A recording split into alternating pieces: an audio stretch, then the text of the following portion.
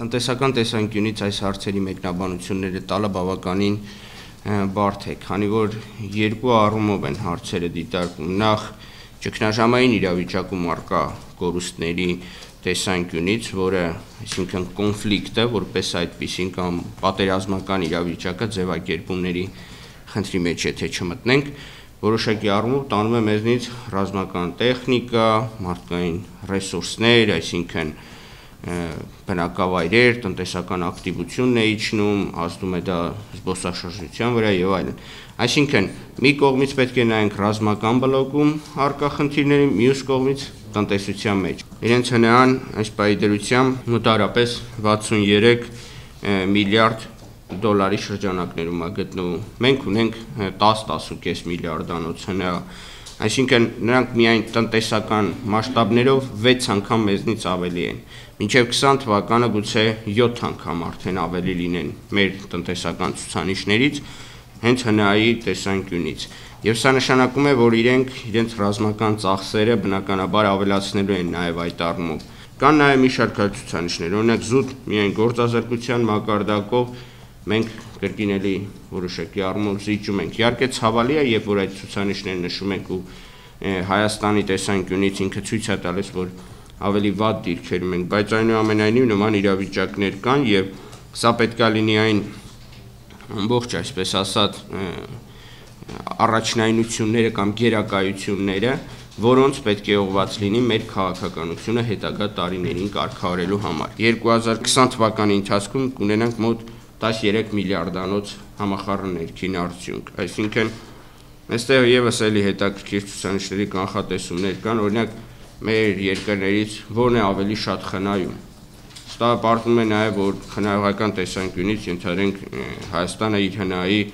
մոտ 13-14%-ն է կարողանում խնայել Այսինքն Թուրքիայի մոտ դա որոշակի առումով մեզ մոտ է 1-2%-ի տարբերություն է կազմում, Ադրբեջանի մոտ մոտ 20%, Կապ ունի նաև հնայի մեջ ներդրումների ծավալը, էլի կանխատեսումների առումով Հայաստանում դրանք կտատանվեն 20-ից 22%-ի շրջանակներում, այսինքն ակնկալել, որ մենք այս առաջիկա 4-5 տարիների ընթացքում ունենալու ենք ներդրումների բում, այդպես չէ։ Եվ պարտքային կանխատեսում, պարտքային կանխատեսումները համախառն ներքին արդյունքի մեջ 50%-ի շրջանակներում են գտնվելու, իսկ եթե Ես նայում եմ 2020 թվականի ընթացքում մեր հնայի 50%-ը այդ տեսանկյունից կազմում է մոտ 6.5 միլիարդ ԱՄՆ դոլար, այսինքն մենք առաջիկա տարիների ընթացքում մոտ 1.4 միլիարդով, որովհետև այս պայի դրությամբ ունենք 5 միլիարդ 120 միլիոնանոց պետական պարտք, դա նշանակում է, որ 1.4 միլիարդով եւս մեր պարտքը ավելացնելու ենք։ Իհարկե դրականը որ Ադրբեջանն ավելի շատ այդ պարտքը ավելացնելու, բայց այնուամենայնիվ դրանից նաև իր հնան է որոշակի առումով արագ աճել, այդ ընթացքում դրա համար վերջինս հնարավորություն է տալուս նաև իր պարտքը ավելացնել։ Իրավիճակի այս բարթացումը որոշակի առումով կստիպի, որպիսի Հայաստանի հնայի մի ամբողջ բաղադրիչ, ենթադրենք